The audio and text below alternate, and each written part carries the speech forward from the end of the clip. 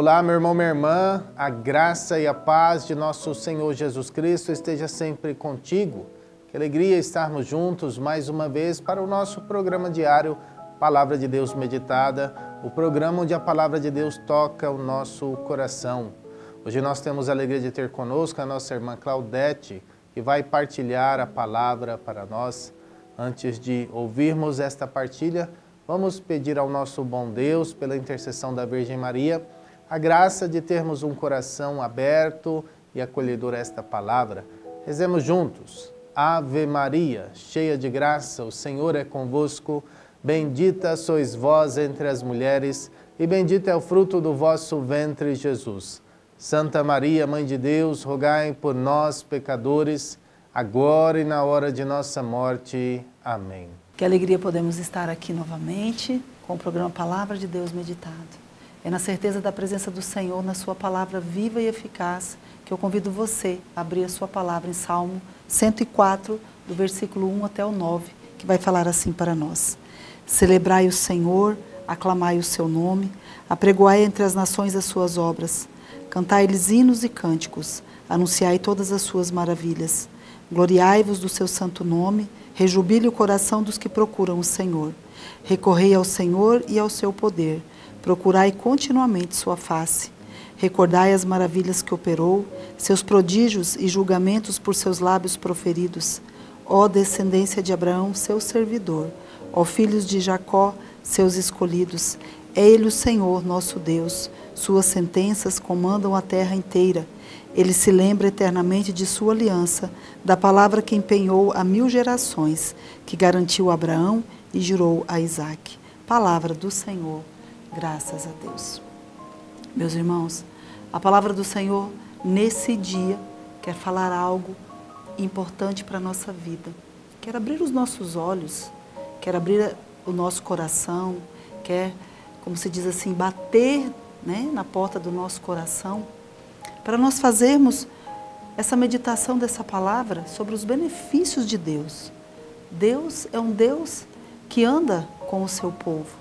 Deus é um Deus que, desde o Antigo Testamento, se nós pegarmos Moisés, Abraão, Isaac, Jacó, Deus ele sempre esteve presente na vida da humanidade. Por quê? Porque Ele é nosso Pai, Ele é o Senhor, Ele é aquele que sempre olhou para mim e para você como aquele Criador, aquele que nos fez e nos gerou.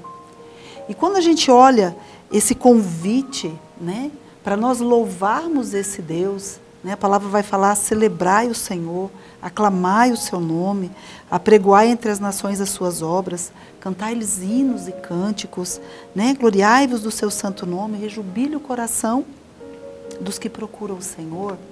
É para mostrar para mim e para você, meus irmãos, que Deus, quando Ele faz parte da vida do ser humano, quando o ser humano deixa se encontrar por Ele, ele se torna uma pessoa que tem esse, esse entendimento de que ele não está só no mundo.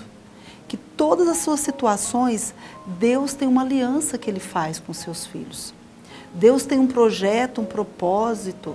Deus, desde a nossa geração, né, no, no, no ventre da nossa mãe, Deus já teve, como se diz assim, um sonho comigo e com você.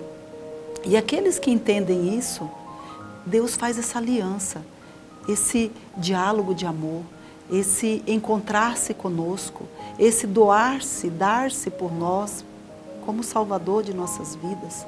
Né? Se nós olharmos toda a quaresma que nós estamos vivendo, toda a palavra, tudo aquilo que Deus vem nos mostrar para abrir os nossos olhos, abrir o nosso coração nesse tempo, a gente vai ver que a finalidade disso tudo é para me salvar e para salvar você. É Deus conosco, Deus que quer estar conosco. Deus que faz alianças e alianças. Né? E eu posso até perguntar para você quantas vezes eu e você nos afastamos de Deus, andamos nos caminhos sozinhos nessa terra, sem o olhar de Deus, ou sem nós estarmos olhando para Deus, porque Ele não deixa de olhar para nós. E quantas vezes nós tivemos a oportunidade de voltar a Deus, de retornar o caminho e ter os benefícios da misericórdia de Deus. Isso é um dos exemplos.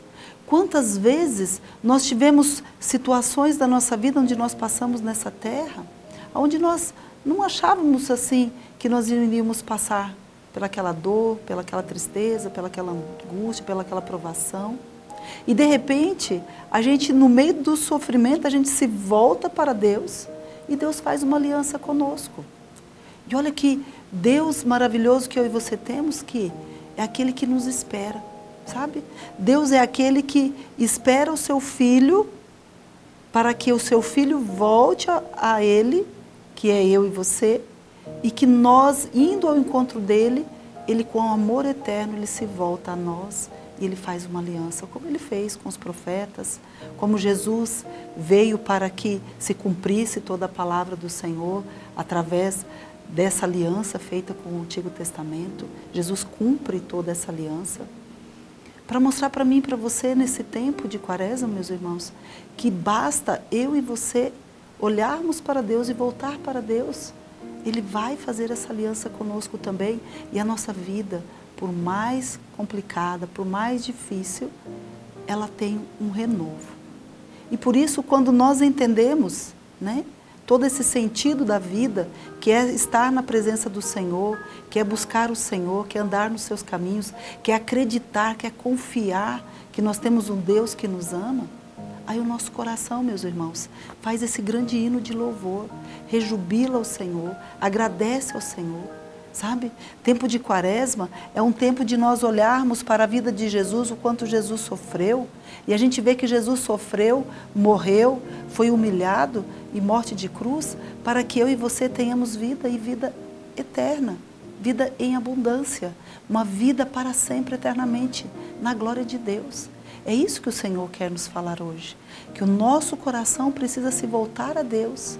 E quando nós temos essa oportunidade, e discernimento de buscar o Senhor em todas as situações da nossa vida, Ele vem ao nosso encontro, faz essa aliança conosco e então a gente realmente pode adentrar no coração de Deus e glorificar o seu santo nome. Por quê? Porque Ele é digno de honra e de glória. Quero convidar você, meu irmão, por mais difícil que você esteja passando hoje, louve ao Senhor com esse canto aonde nós precisamos celebrar, aclamar o nome santo do Senhor. Sabe por quê? Porque Ele não desiste de nos amar. Louvado seja nosso Senhor Jesus Cristo, para sempre seja louvado.